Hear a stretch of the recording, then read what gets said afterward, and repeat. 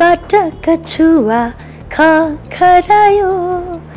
एउटा थियो कछुवा एउटा खरायो। ओ माई गड मनमा आयो मुखमा आएन भयो मलाई। बाधा परुन् जति नै सारा सहन्छु म। माया गर मलाई भनिरहन्छु म। सानै छँदादेखि अब घरको माहौलमा एउटा एउटा म्युजिकल जुन इन्भाइरोमेन्ट हुन्थ्यो त्यसबाटै मैले सिक्दै गएँ। प्रदीप खड्का अनोल केसी र आकाश श्रेष्ठ। भुल्नै नसक्ने कुनै पनि पल जुन दिन तपाईँलाई आनन्द महसुस भएको थियो संसारकै सबैभन्दा आनन्द प्राप्त गरेको दिन। लसता जोशी गायिका नभएको भए के हुन्थ्यो? म मिठो मिठो साथ त्यो स्पर्श ताराहरूको माझ अङ्गालोमा बाँधी थियो हर्ष आइरहन्छ याद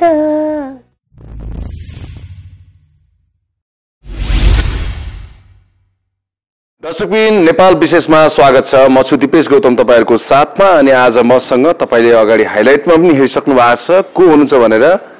पक्कै पनि। बाल गायक हुँदै पछिल्लो समय नेपाली साङ्गीतिक क्षेत्रमा क्रियाशील व्यक्तित्व हुनुहुन्छ। उहाँको आफ्नै जिन छ त्यो जिनमै उहाँको म्युजिक छ।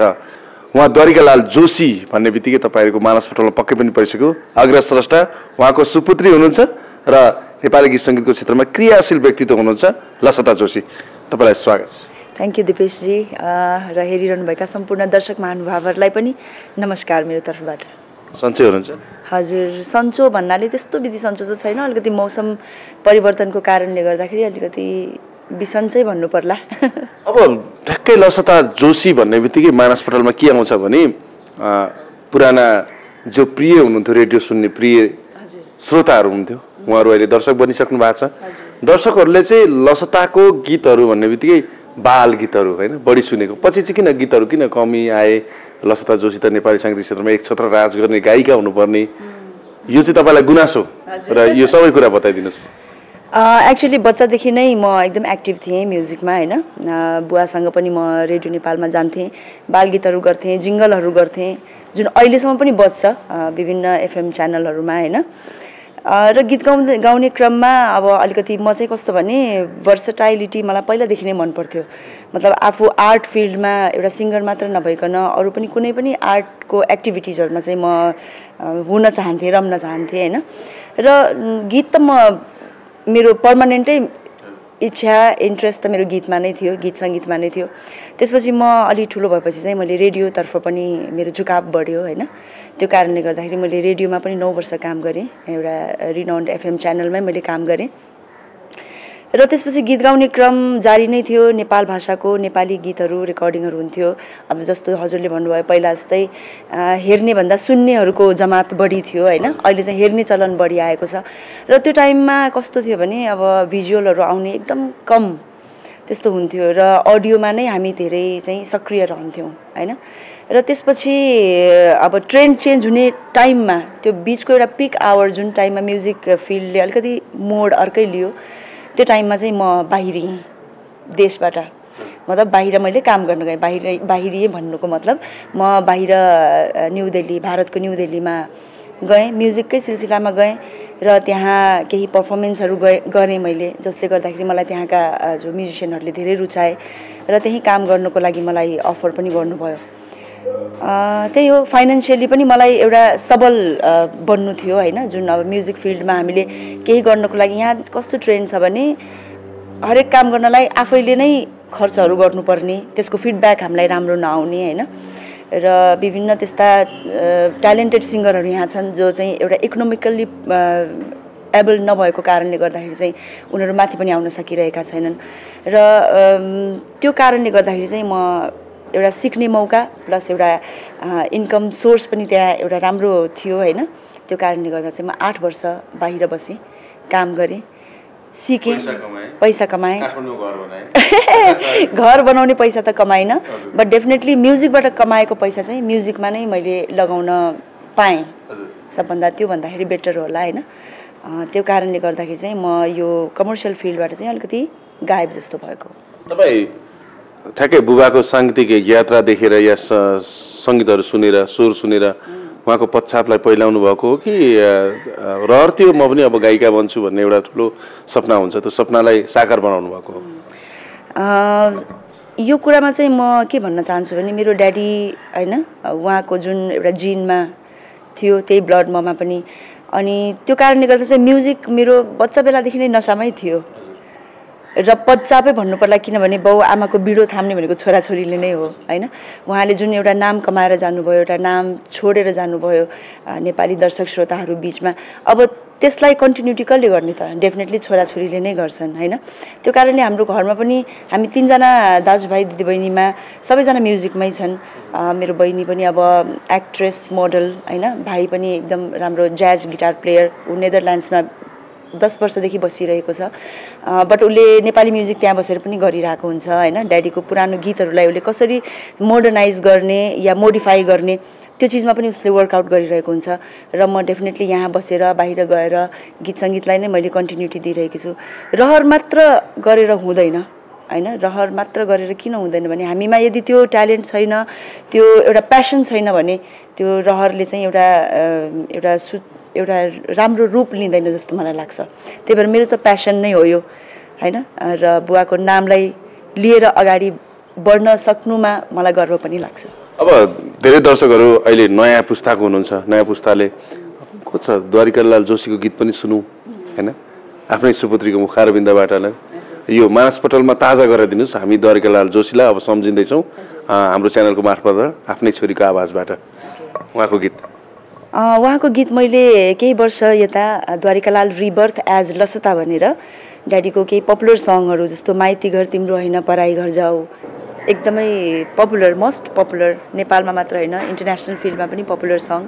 रेशम फिरिरी सम्झिनु अनि सम्झाउन चाहन्छु सबैजनालाई होइन? किनभने यो गीत यति पपुलर छ वर्ल्ड वाइड कोही पनि विदेशी पर्यटक आउँदाखेरि कुनै पनि नेपालमा के गीत सिकेर आयो भन्दाखेरि रेशम फिरिरी सिकेर आएँ भन्छ। तर मोस्ट अफ अल धेरैलाई थाहा छैन कि रेशम फिरिरीको स्रष्टाहरू को हुनुहुन्छ होइन? कसको हो यो ओरिजिनल सङ यो फोक सङ चाहिँ कसको भनेर थाहा छैन। त्यो कारणले म दर्शकहरूलाई यो पनि भन्न चाहन्छु कि रेशम भन्दाखेरि शब्द र लय सङ्कलन चाहिँ बुद्धि परियारको। होइन? बुद्धि परियार भने धर्मेन्द्र सेवानको बुवा। होइन। लसता जोशीको बुवा। द्वारिकाल जोशीले गाउनु भएको हो हजुर। रेशम फिरिरी। उहाँले मात्र होइन उहाँसँग सुन्दर श्रेष्ठ पनि हुनुहुन्छ होइन? हुनुहुन्थ्यो। उहाँहरू दुईजनाले चाहिँ द्वारिकालाल जोशी र सुन्दर श्रेष्ठले गाउनु भएको ओरिजिनल रेशम फिरिरी अनि बुद्धि परियारजीको चाहिँ शब्द सङ्कलन। बाधा परुन् जति नै सारा सहन्छु म रहर लाग्छ हरेक प्रहर शीतसँगै झरिदिएछु। म विभिन्न उहाँको होइन मुटु मेरो चुडी लगिन् झुटो माया लाउनेले। यी सबै गीतहरूलाई चाहिँ कलेक्ट गरेर मैले एउटा एल्बम पनि निकालेकी थिएँ। लगभग दस एघार वर्ष नै भयो। त्यसमध्येको बाधा परुन् जति नैको मैले एउटा भिडियो पनि बनाएकी थिएँ। त्यो युट्युबमा पनि तपाईँले अहिले पनि हेर्न सक्नुहुन्छ। त्यही सानो टुक्रा म गुनगुनाउँछु। बाधा परुन् जति नै सारा सहन्छु म। माया गर मलाई भनिरहन्छु म। बाधा परुन् जति नै रातमा जगमगाउने तिमी त्यो चन्द्र हौ। प्यासीको प्यास मेट्ने शीतल समुद्र हौ। जता तिमी बहन्छौ त्यतै बहन्छु म। माया गर मलाई भनिरहन्छु म। बाधा परुन् जति नै। धेरै राम्रो राम्रो गीतहरू द्वारिकालाल जोशीका। अब ठ्याक्कै फेरि तत्कालै सुन्छौँ। तपाईँले सबैभन्दा पहिलोचोटि जुन गीत गाउनु भएको थियो नि चलचित्रमा। चलचित्रको गीत गाउँछौँ। किनभने त्यो बेलाको दर्शकहरू अहिले पनि हुनुहुन्छ होइन? र सुनिराख्नु भएको छ। रेडियोमा हुँदै सुन्दै आएको दर्शकहरूले नि अहिले युट्युब हेरिराख्नु भएको छ होइन? त्यो गीत सुनौँ न फेरि। बच्चा बेला गाएको। ओके मैले तिन चारवटा चलचित्रमा गाएकी थिएँ as as a child artist है।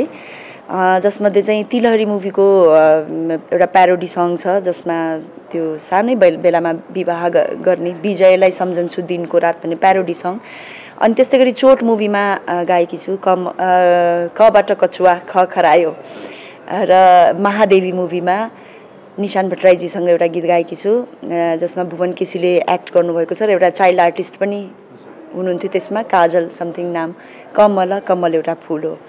र म सुनाउन चाहन्छु कबाट कछुवा जुन सबैलाई मानसपटलमा ताजै होला है। कबाट कछुवा खरायो। एउटा थियो कछुवा एउटा खरायो। खरायोको सिङ छैन कता हरायो? कता हरायो भन कता हरायो? लसता पनि म्युजिकबाट कता हरायो भन्ने दिन झन्डै झन्डै आएको थियो तर फेरि कम ब्याक हुनुभएको छ। तर म खासै हराएको त छैन दिपेशजी। एक्चुली म जहिले पनि म्युजिकमै कन्टिन्युटी मैले दिइरहेकी छु एभ्री डे एभ्री मोमेन्ट है। मैले ब्रेक भनेकै लिएको छैन। ब्रेक जस्ट यसर्थमा कि म अलिक स्टुडियो वर्कबाट अलिकति अलिकति टाढिएँ होइन। बाँकी त म as usual every day perform गर्छु एभ्री डे म म्युजिकमै हुन्छु। जे होस् म्युजिकलाई मैले छोडेको छैन। तपाईँको बाहिर सुन्दा चाहिँ अलिकति कस्तो राम्रो नसुनिने होइन मिठास नसुनिने। र माइकमा कस्तो मिठास सुनिने आवाज है होइन? त्यो महसुस गर्नुभएको छ कि छैन? त्यो ड्राइनेस हरेकको भोकलमा हुन्छ होइन? सायद त्यो ममा पनि होला। कसै कसैको फेरि स्टेजमा राम्रो हुने स्टुडियोभित्र नराम्रो हुने होइन? र कसैको स्टुडियोमा एकदम राम्रो सुनिने। त्यो एउटा माइक्रोफोनसँगको एउटा एउटा एउटा फ्यामि फ्यामिलियर हुने छ नि त्यो चिज पनि हुनसक्छ। जस्तो अहिले त मैले अघि पनि भनिहालेँ म खोकीले पनि ग्रस्त भइरहेको छु। आफैलाई फिल भइरहेको छ गाउँदाखेरि स्वर भाँसिएको त्यो कारणले पनि। र प्लस अब विभिन्न टेक्नोलोजी आएको छ एफेक्ट्सहरू यताउति होइन? हुनसक्छ त्यसले गर्दाखेरि पनि केही चेन्जेस आएको हुनसक्छ। अब ठ्याक्कै यो समयमा लसता जोशीले आफ्नो पितालाई सम्झिनु पर्दाखेरि कुन तहसम्म सम्झिनुहुन्छ र उहाँलाई कुन स्थानसम्मको एउटा म्युजिसियन एउटा राम्रो गायक होइन एउटा सङ्गीतकारको रूपमा तपाईँले हेर्नु भएको छ? फर्स्ट अफ अल त उहाँ मेरो एकदमै इनिसियल होइन एकदम एकदम सुरुवाती फेजको उहाँ सङ्गीतको गुरु मेरो हुनुहुन्छ। हुन त मैले उहाँसँग बसेर अफिसियली सिकेको छैन।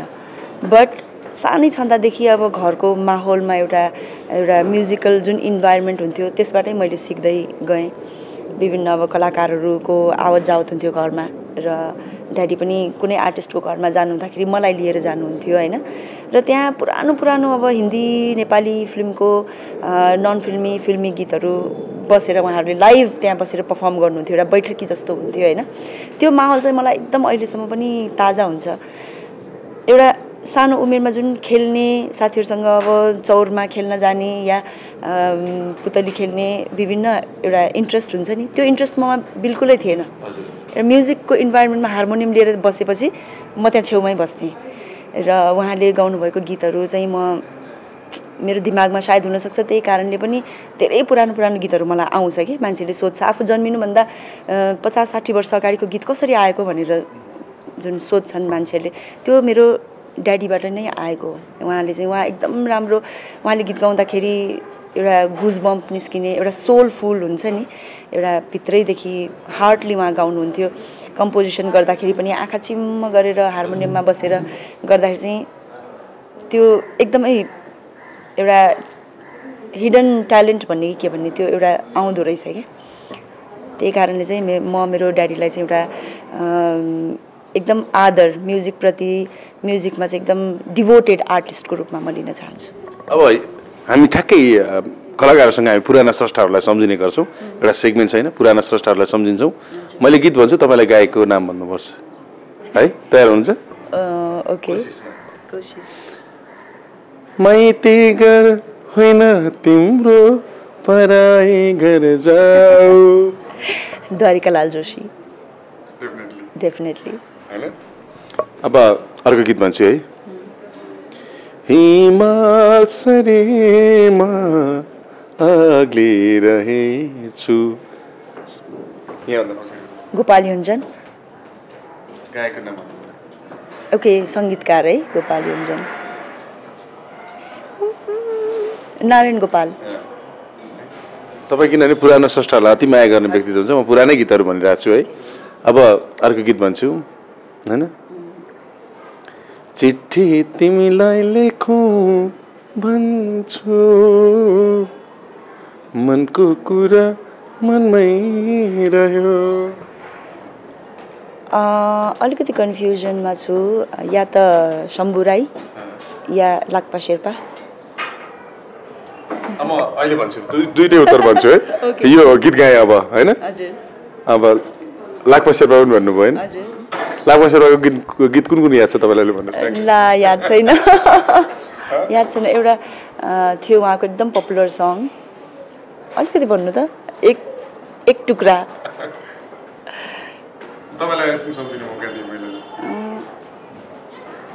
ओ माई गड मनमा आयो मुखमा आएन भयो मलाई। बाई द वे को हुनुहुन्थ्यो यसको ओरिजिनल सिङ्गर वाउ ठिक भन्नुभयो। अब अर्को गीत भन्छु है तपाईँलाई।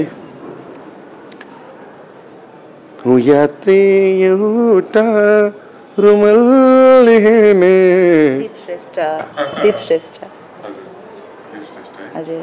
अब अर्को गीत एउटा छ। कहाँबाट आयो आयो? रुजाएर गयो बेमानी। पानी पानी नलिना चित्रकार. त्यो त्यो जमानाका स्टारहरूको कुरा गरौँ होइन। स्टारहरूलाई पनि सम्झौँ जसले नेपाली साहित्य क्षेत्रमा धेरै योगदान दिनुभएको लगभग सँगैसँगै नै करियरको सुरुवात गरेका थियौँ। मभन्दा केही समय अगाडि हाम्रो नलिना दिदीहरू होइन पनि हुनुहुन्थ्यो। एकदम रमाइलो थियो। उहाँहरूसँग पनि धेरै स्टेज सोहरू गरियो। So they are close to my heart देउरालीको चौता प्रधान हजुर तपाईँहरू त समकालीन साथीहरू पनि है धेरै रमाइलो हुन्थ्यो होला। त्यो क्षणहरू सम्झिनुहोस्। त्यतिखेरका सङ्गीत स्रष्टाहरू कति कति को कोसँग रोल रुमल लिनुहुन्थ्यो कतिजनासँग गीत गाउँदै हिँड्नुहुन्थ्यो होइन? हुन त म सबैभन्दा मतलब सबैले मलाई बहिनीको रूपमा नै माया गर्थ्यो होइन? साथीहरू जस्तो भन्दा पनि मलाई एउटा एज अ लिल सिस्टर हुन्छ नि त्यो प्याम्परिङ टाइपको म त्यस्तो थिएँ त्यो टाइममा। अनि गीत गाउँदाखेरि पनि अलिक चाइल्डिस जस्तो नेचर त्यस्तो स्वर आउँथ्यो मेरो जस्तो सरिस्मा मेरो एकदम मिल्ने साथी एन्जेला सिंह त्यस्तै गरी सञ्जीव दाई भइहाल्यो होइन? अनि हाम्रो भीम तुलाधर दाई भयो जेम्स जेम्स प्रधान दाईले पनि मलाई एकदम माया गर्नुहुन्थ्यो। विभिन्न छन् भूपेन्द्र बज्राचार्य म्युजिसियनहरूमा ज्योति घिमिरे उहाँहरू सबैजना चाहिँ मतलब हजुर सचिन रौनियाजीहरू होइन उहाँहरू सबै। विवेकजी श्रेष्ठ। त्यो चाहिँ मैले रेडियोमा काम गर्दाखेरि उहाँहरू इन्टरभ्यू दिन आउनुहुन्थ्यो। म चाहिँ एकदम फ्यान थिएँ उहाँको होइन? म चाहिँ त्यो भित्र कन्ट्रोल रुममा यसरी हेर्थेँ क्या बाहिरबाट। किनभने उहाँको इन्टरभ्यू पछि मेरो आफ्नो प्रोग्राम हुन्थ्यो होइन? त्यो कारणले चाहिँ अस्ति भर्खर भेटेँ उहाँसँग अहिले म फेसबुकमा कनेक्टेड छु। अब भर्खरै एउटा पुरानो गीतको म्युजिक भिडियो लिएर आउनुभएको छ। आफै मोल्डिङ पनि गर्नुभएको छ होइन? बबिता आनन्दहरूले यसलाई चाहिँ डाइरेक्सन गर्नुभएको छ। राम्रो कन्सेप्टमा सर्टकट मुभी भने जस्तै सर्टकट मुभी स्टाइलको एउटा भिडियो बनाउनु भएको रहेछ होइन? त्यो त्यसको बारेमा बताइदिनुहोस् र गीत पनि हामी सुन्छौँ। यो गीत चाहिँ एक्चुअली म चितवनको एउटा एफएममा काम गर्न म तिन महिनाको लागि आबद्ध भए भएकी थिएँ होइन? त्यो टाइममा म त्यहाँ एक्लै थिएँ। गिटार एउटा मैले लगेकी थिएँ आफ्नो किनभने म हल्का गिटार पनि बजाउँछु। धेरै एकदम नट द्याट पर्फेक्ट बट म बजाउँछु। अलिकति आफूलाई चाहिने जति मलाई आउँछ। र म एफएममा प्रोग्राम सिद्धिसकेपछि एकदम गर्मी हुन्थ्यो त्यहाँ। नारायणीको त्यो पुल छ नि त्यहाँनिर जा जान्थ्यौँ हामी दुई तिनजना साथीहरू जो मिडियाकर्मीहरू नै थिए। त्यहाँ गएर हामी पुलमा बसेर गिटार बजाउँथ्यौँ। र त्यहाँ बसेर बजाउँदा बजाउँदा चाहिँ यो धुन एक्चुली त्यहाँ क्रिएट भएको हो होइन? अनि त्यतिखेर एकजना हाम्रो सञ्चारकर्मी नै साथी हुनुहुन्छ निराजन भण्डारी। उहाँ चाहिँ अब लेख्नमा अलि इन्ट्रेस्टेड हुनुहुन्थ्यो। जब मैले धुन बनाएँ उहाँले भन्नुभयो कि यो धुनमा त म गीत लेख्छु कोसिस गर्छु भन्नुभयो। र उहाँले गीत लेख्नुभयो। अनि ठ्याक्कै म्याचिङ म्याचिङ कम्पोजिसनमा म्याचिङ लिरिक्स हामीले पायौँ होइन। अनि ल अब ठिक छ काठमाडौँ गएपछि यसलाई हामीले रेकर्ड गर्नुपर्छ। नेक्स्ट एल्बममा चाहिँ म यो गीत राख्छु भन्ने मैले। र र सोही अनुरूप आरोहण नामको एउटा एल्बम मेरो निस्क्यो। जसमा चाहिँ मैले यो गीत पनि समावेश गरेँ। विभिन्न गीतहरू थियो त्यसमध्येको दुईवटा गीत मैले पहिला नै भिजुअल गरिसकेकी थिएँ। त्यो चाहिँ खासै मैले त्यसलाई त्यति प्रमोट गर्न पाइनँ। र जस्तो मैले यो बिचमा म इन्डिया गएँ। इन्डिया गएर फर्केपछि अब फेरि अब गर्नु पर्यो भन्ने सोच एउटा चाहिँ हामीलाई पहिल्यैदेखि आइरहेको थियो। र नयाँ गीत किन गर्ने त? जब कि आफ्नो पहिलाको क्रिएसनहरू बाँकी छन् जुन गीतलाई हामीले अगाडि ल्याएकै ल्याएकै छैनौँ होइन? हुन त डर एकदम लागिरहेको थियो मनमा मलाई। त्यो ट्रेन्ड चेन्ज भइसकेको छ नेपालमा होइन? त्यो त्यो गीतलाई एक्सेप्ट गर्छ कि गर्दैन दर्शकले श्रोताले भन्ने डर पनि थियो मनमा। तैपनि रिस्क लिएर ठिकै छ। गरिहेरौँ भनेर चाहिँ यो गीतलाई हामीले भिजुअलको रूपमा लिएर आएका थियौँ। भ्यालेन्टाइन डेको दिनमा रिलिज गऱ्यौँ र रेस्पोन्स राम्रो पायौँ। एकदम सबैजनाले तारिफ गरे। र एक्टिङको कुरा भन्नु पर्दाखेरि चाहिँ म एक्चुली म एक्टिङमा चाहिँ त्यति राम्रो छुइनँ।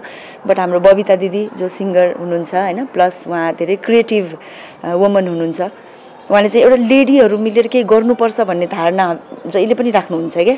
हामी किन गर्न सक्दैनौँ? हामी पनि गर्न सक्छौँ फिल्डमा हामी पनि उत्रिन सक्छौँ भन्ने हिसाबको चाहिँ उहाँको त्यो इन्करेजमेन्टले गर्दाखेरि चाहिँ मैले लेट्स सी गरौँ। दिदी तपाईँ सिकाउनुहोस्। त्यसैले मैले एउटा फिमेल डाइरेक्टर राखेँ त्यो गीतमा जसले एउटा फिमेलको फिलिङ्सलाई बुझ्न सकोस् र त्यसलाई राम्रो रिप्रेजेन्ट गर्न सकोस् भनेर त्यो हिसाबले चाहिँ म्युजिक भिडियो बन्यो। ओके मिठो मिठो साथ त्यो स्पर्श ताराहरूको माझ अँगालोमा बाँधी थियो हर्ष। आइरहन्छ याद रातको प्रहर। तिम्रो चाहमा तडपी तडपी बहकिन्छु म। पुग्न खोज्छु सपनीमा अनायासै। बरबराउँदै झस्किन्छु म। मेरो बरबराई तिमीले सुन्यौ कि त्यो रातको पलहरू? तिमीले सम्झौ कि मेरो यादमा कतै तिमी डुब्यौ कि? यादमा डुब्यो कि? अब एउटा सेगमेन्ट छ त्यसलाई चाहिँ अ, तपाईँले पालन गर्नुपर्ने हुन्छ है। तर जे भनेको त्यही गर्नुपर्ने हुन्छ। तपाईँले एउटा चुज चुज गर्नुपर्ने हुन्छ एउटै गर्नुहोस्। ओके। है? ओके। ल। द्वारिकालाल जोशी न्यून वज्राचार्य सम्बुजित बास्कोटा। न्यू वज्राचार्य अ, मेलना मानन्दर रेखा थापा करिश्मा मानन्दर। करिश्मा मानन्दर। शिवश्रेष्ठ। भुवन केसी गीत गाउनु भएको छ। हजुर। अ, त्यस पछाडि आउनुभयो नि सञ्जीव प्रधान होइन? हजुर। सञ्जीव प्रधान अनि त्यस पछाडि विवेक श्रेष्ठ र भीम तुलाधर। सञ्जीव प्रधान। त्यसपछि आउँ। बाबुवटी यस कुमार र सञ्जीव सिंह। सञ्जीव सिंह। हजुर।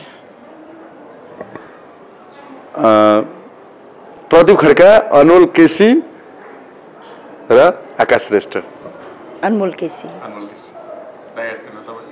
डाइहार्ट फ्यान त होइन but he looks so he looks so cute भेट्ने मौका पाएको छैन but he looks so cute Samrajya Rajyalaxmi Shah Jasita Gurung अनि त्यस पछाडि प्रियङ्का कार्की।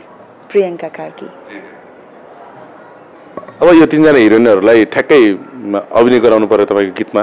अब कुनै डान्सिङ नम्बरहरू लिएर या त कुनै स्याडसँगै भए पनि होइन? कसलाई अभिनय गराउनुहुन्छ? प्रियङ्का कार्की. हजुर। सबैभन्दा नजिकको मान्छे? दुईजना छन्। मेरो मम्मी र मेरो छोरी। हजुर। भुल्नै नसक्ने कुनै पनि पल जुन दिन तपाईँलाई आनन्द महसुस भएको थियो संसारकै सबैभन्दा आनन्द प्राप्त गरेको दिन। खासै त्यस्तो पल याद छैन. आमा बनेको पल पनि याद भएन ओके आमा बनेको पल त एकदम त्यो डेफिनेटली हो राइट तपाईँले ठ्याक्कै भन्नै पर्दाखेरि होइन? सङ्गीत चाहिँ के हो? एकै शब्दमा भनिदिनुहोस् ठ्याक्क। औषधि। औषधि। कसको लागि? सबैको लागि। सबैको लागि औषधि। हजुर। मान्छे क्रिएटिभ हुन के गर्नुपर्छ? सोच्नुपर्छ। सोच्नुपर्छ। हजुर। लसता जोशी गायिका नभएको भए के हुन्थ्यो? म कार्टुनिस्ट। अँ, हल्का फुल्का। हजुर। कुनै दिन त्यो हेर्ने मौका मिल्यो स्योर तर म त्यो मान्छेहरू बनाउन आउँदैन मलाई। त्यो कार्टुन क्यारेक्टर बनाउन आउँछ जस्तो Tom and Jerry Fido Dido like that. हुन्छ नि डोनाल्ड डक। यस्तोहरू चाहिँ मलाई के बनाउनु सक्नुहुन्छ? छोरी त फेसन डिजाइनर बन्छु भनेर भन्छन् भन्छन् है। किनभने मेरो मम्मी एकदम राम्रो डिजाइनर हुनुहुन्छ। जति पनि म स्टेजमा ड्रेसहरू लाउँछु मेरो मम्मीले नै डिजाइन गर्नुहुन्छ। अनि अब हेरौँ अहिले त सिज इन नाइन्थ स्ट्यान्डर्ड है।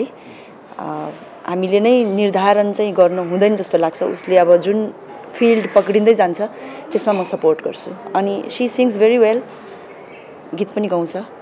हेरौँ। अब ड्याडीको बिडो मैले थामेको जस्तो मेरो बिडो उसले थाम्न सक्ला फ्युचरमा। Let's hope